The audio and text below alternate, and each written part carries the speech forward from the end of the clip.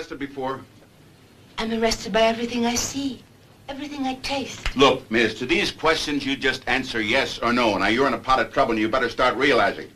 Now, yes or no, have you ever been arrested before? Yes, Where? New York, For what? for keeping pet unicorns.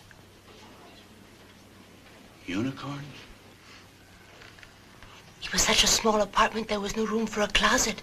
Where else could I hang my things except on the unicorns? Just to set the record straight, young lady, I happen to know that there are no such things as unicorns. Are you sure? Of course I'm sure. They're mythical animals, just creatures of somebody's imagination. Aren't we all?